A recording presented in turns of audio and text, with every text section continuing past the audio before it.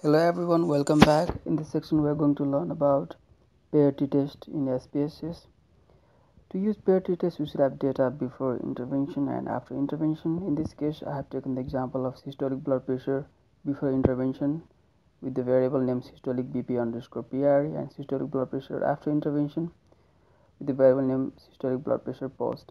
So to calculate the pair t-test we first go to analyze then click on compare means and click on pair sample t-test so a dialog box opens.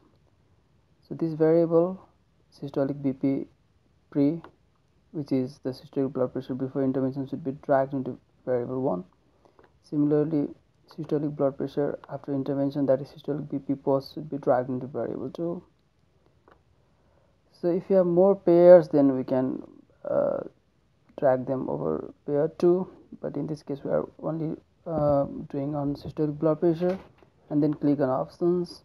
After that we set the con uh, confidence interval here. The default confidence interval is 95 percent. So we can change it to 90 or 99 as per our objective. Click on continue um, and click on ok so we see the output. Here this table shows the pair sample t-test here we can see that uh, the mean difference in systolic blood pressure before and after intervention is 52.97 with a standard error of mean of 2.50719 you can see the confidence interval of the pair t-test value and also the pair t-test value and the p-value so here the p-value of less than 0.05 that is 0.000 shows that the difference between systolic blood pressure before and after intervention is statistically significant. So this is it. Good luck and uh, see you in the next tutorial. Thank you